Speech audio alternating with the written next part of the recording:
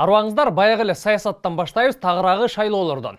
Үгүт иштери башталып башталбай жатып партиялар жүз жыйырма миллион сом коротуп коюшуптур карасаң укмушта эле үгүт жүрүп жатканы байкалбайт. Эң эле көп акчаны баягы эле бийликчилделген жана бай олигархтардын партиялары короткон.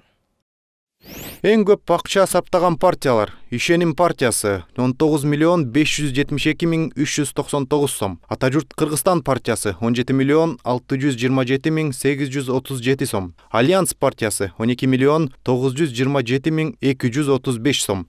Эл үмүтү партиясы он миллион сегиз жүз жыйырма жети миң сегиз жүз жыйырма бир сом. Ынтымак партиясы жети миллион төрт жүз жыйырма эки миң эки жүз алтымыш алты сом. Акыркы ынтымак партиясы менен шайлоого аттанган парламент төрагасы талант мамытовдун айланасында болуп жаткан көрүнүштөр боюнча чекит коюлду өңдөнөт баары бир шайлоого катышат деп бийлик чечкен окшойт. Жогорку сот бшкнын аны жарыштан четтетүү арызын кабыл алган жок. Эскерте кетсем боршайком талант мамытов кызматын тапшырбай шайлоого аттанганы менен мыйзам бузганын айтып аны шайлоодон четтеткен. Бирок биринчи май райондук соту эч нерсе болбойт деп бшкнын чечимин жокко чыгарган анан бшк доо арызы менен жогорку сотко кайрылып бүгүн жогорку сот бшкнын арызы кассациялык арыз берүү мөөнөтүнөн кеч берилген деп четке какты мына байлык бийлигиң болсо таңкасың жок болсо маңкасың деген сөз ушул жерге туура келди окшойт. Точно. Ал эми оппозициялык өңдөнгөн азаттык партиясынын үгүт иштерине студенттерди алып келүү фактысы боюнча милиция териштирип жатат. Эскерте кетсек күн мурун ошто аталган партия шайлоочулар менен жолугушуу уюштуруп ага студенттерди мажбурлап алып келип жатат деген маалыматтар тараган. Азаттык партиясы админ ресурс колдонгон деп шектелүүдө. Бишкекте болсо ала мүдүн району боюнча шайлоого бара жаткан талапкерге каршы митинг өттү. Нааразычылык акцияга чыккандар лебединовка айыл өкмөтүнүн мурдагы башчысы бердибек чынтемировду алдамчылыкка айыпташууда. Айтымдарында ал айыл өкмөт болуп турганда жергиликтүү тургундардын жерлерин сатып жиберген.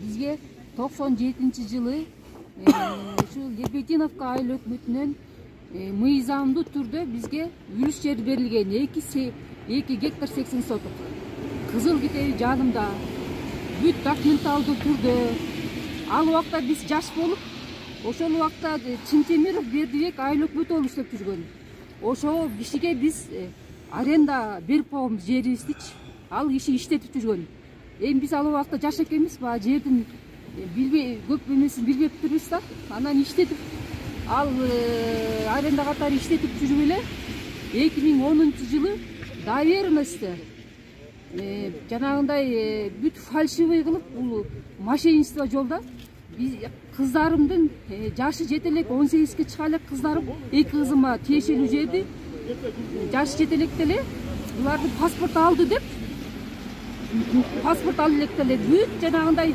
туулган жылдары мисалы кызым токсон экинчи жыл болсо токсонунчу жылкы деп туруп паспорт каякта данныйларды алган билбейм данныйларды бүт өздөрү коюп колдорду өздөрү коюп жолдошумдун колун өздөрү коюп ошондой мошенничество жол менен доверенность жасатып туруп башка адамдарга сатып жиберген да.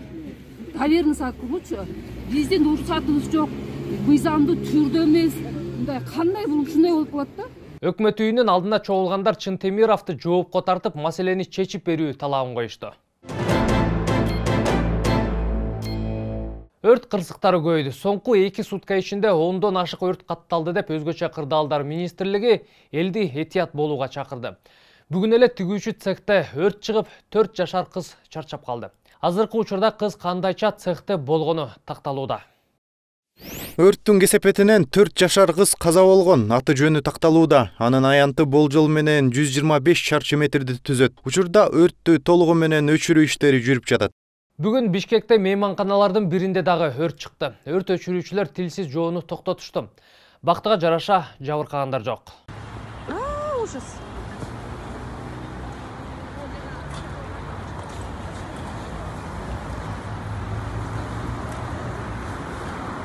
жылдагыдай эле бизге күтүүсүз келген кыш бир топ түйшүккө салды окшойт. Жолдор оң тазаланган жок тайгак деп нааразы болгондор көп. Бирок ошол эле учурда биз айдоочулар дагы эрте кам көрүүнү билбейбиз. Кар жаагыча дөңгөлөктөрүбүздү алмаштырбайбыз го чиркин. Бүгүн желимдөө пункттарында кезектер узун тыгындар да пайда болду. Очередь байкадыңар ташкентская көчөсү. Той той той той мына бүгүн той той. Той той той той. Мына бүгүн той той. Бишкек мэриясы жолдорду тазалоо түнкү экиде эле башталганын кызматкерлер тынымсыз иштеп жатышканын билдирет саат эки нөл нөлдө тазалыктын кызматкерлери жыйырма сегиз кар тазалоочу машина төрт универсал машина беш трактор менен чыгып жолдорду күрөп техникалык туз чачууга киришти. Эртең мененке чейин үч жүз элүү төрт тонна туз коротулду. Ошондой эле көчө тазалаган алты жүз элүү жети жумушчу кадимки тартип менен иштеп жатат. Чынында тазалыктын кызматкерлерине ыраазычылык билдирүүбүз керек бирок менде бир эле суроо. Биринчи карда эле үч жүз элүү төрт тонна туз чачып көп эмеспи? Же үч жүз элүү а чынында элүүбү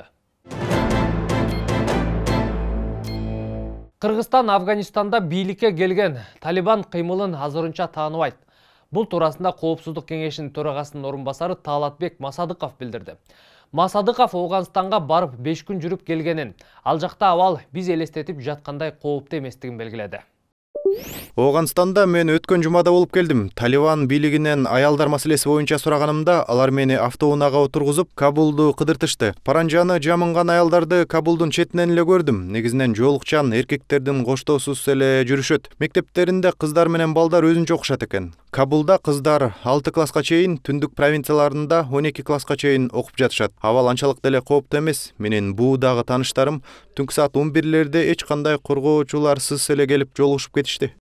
Коопсуздук кеңештин төрагасынын орун басары ооганстанга эмнеге барып эмне маселе чечип келгенин ачыктаган жок. Ушуну менен чыгарылышты жыйынтыктайм. Саламатта туруңуздар